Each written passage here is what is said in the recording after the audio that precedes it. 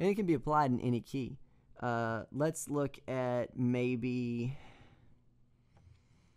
everyone plays in the key of G. That's like worship music 101, right? So let's look at the key of G, shall we?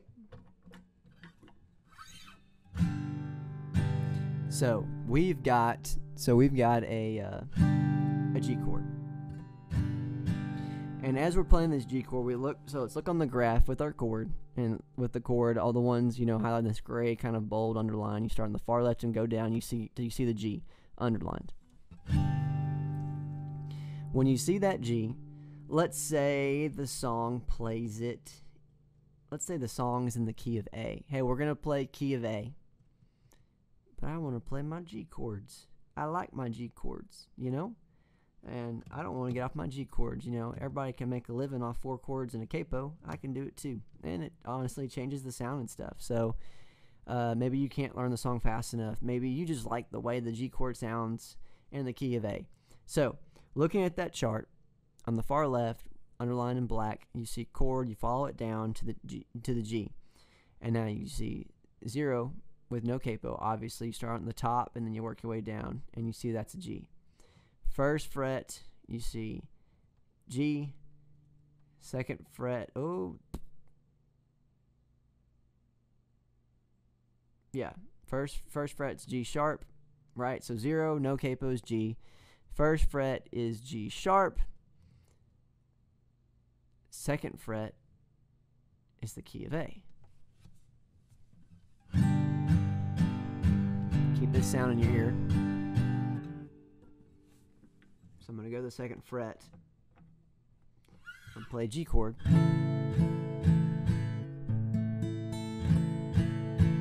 That's now an A chord. Keep this sound in your ear.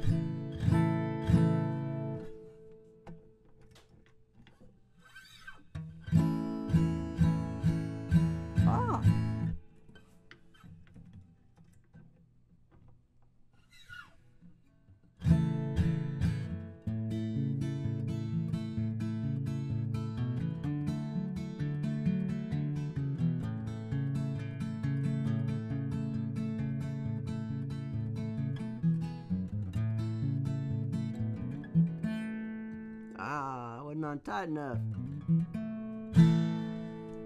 Right? Okay. Love it. Love it, love it, love it, love it. So as I'm looking with with that, that's in the key of A. So let's do something. Let's do something else. Um, let's go. Y'all are gonna walk through this one. We're gonna do the key of D. I want to play. I want to play a D chord. Okay? Now, as I'm playing that, I want you to read this chart on how to play it. How do you play it in the key of E? What fret is it going to be on? Look at the chart. Find that gray highlighted bold D chord. Work your way up from left to right, reading the top of it. Zero fret, what chord is it? First fret, what is it? If I want a second fret, what is it? Third fret, fourth fret, what is it?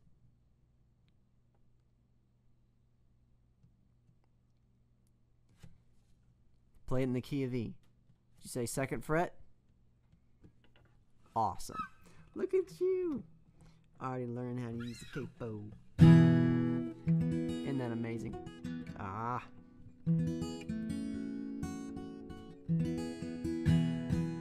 Very nice. If I want to make it in the key, here's a hard one. We're going to go for a curveball. If I want to use my D chord and I want to put it in the key of G, what capo, what fret does it go on? D chord in the same key, I'm playing the key of G. Did you say fifth fret?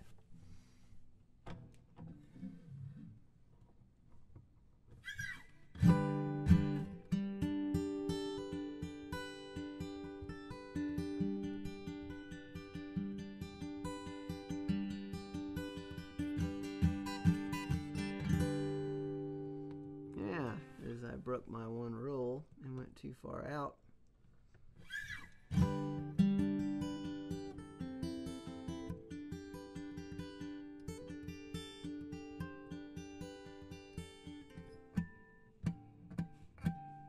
Is. Right. Key of G.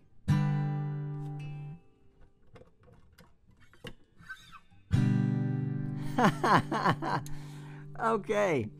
And that's how you're going to use a capo. Uh, if you're new at this, this can't be super it's it's not it's not easy if it's something you're being exposed to for the first time. If you're getting on the fly, great. If you're not, you are in great company, okay? It typically doesn't happen and come natural. Keep this chart on you when you go and you're playing for church or uh, somewhere like that, and your praise team or wherever you might be, and take that chart with you. It's absolutely helpful. You know, it's like ah, I know these four chords, I know these ten chords, and you get a key that you got some bar chords, and you're just like, how does that even work? Well, you got this capo chart. Use it, learn it, and you get to a point where you don't even think about it anymore. You just know right where to go without this chart. And uh, I didn't think I'd ever get there, but I did. My professor was right. You know, it's kept going and going and going, and you finally get a shot, and you you get it. You're gonna nail it. I know you are. You already nailed it like several times, and if you haven't, keep practicing. Drill yourself like that. You know, if it's on this fret, I got this chord. What fret would that be in this key? You know, and just keep working with it. And remember, a great way to check yourself is if you go like I did and played in that on that fret, take it off, and then play the key you're trying to play in. If it doesn't match, you know you're in the wrong key. Something's wrong. Check yourself. So it's a great way to check your work. Um, the next thing we're gonna be it's a great way to get around bar chords. And playing a capo doesn't make you a weaker player. Uh, I know a lot of people say, oh, people who just have capos are just for those that don't want to play bar chord. And that's why that might be the case for some people. That's not the reason why you use a capo. Capo, I, guys, I can play any chord on the neck. I can play the bar chords. I can do everything and uh, there's still many more I got to learn and got to do, but the bar chords don't bother me. And uh, there's at times I'm gonna use a capo just because I think it's better for the song. Um, that's part of being a good player. You know, it's not just being able to play anything and everything, but knowing when to and when not to do something. Uh, just because you can play a bar chord doesn't mean you should play a bar chord. Think about it.